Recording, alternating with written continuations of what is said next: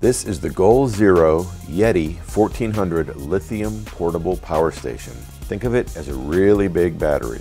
The Yeti 1400 has 1400 watt hour battery inside and it can power just about anything for up to 24 hours. There are three primary outputs for the Yeti. There are two AC plugs, there are four USB ports, and there is a 12 volt accessory port like you would find in your car. You charge the Yeti either through a wall plug or through solar panels, and the Yeti weighs 45.6 pounds. The Yeti 1400 costs $1,999. And yes, that is expensive, but if you think about what you're getting and you have a need for this much power, it can be worth it.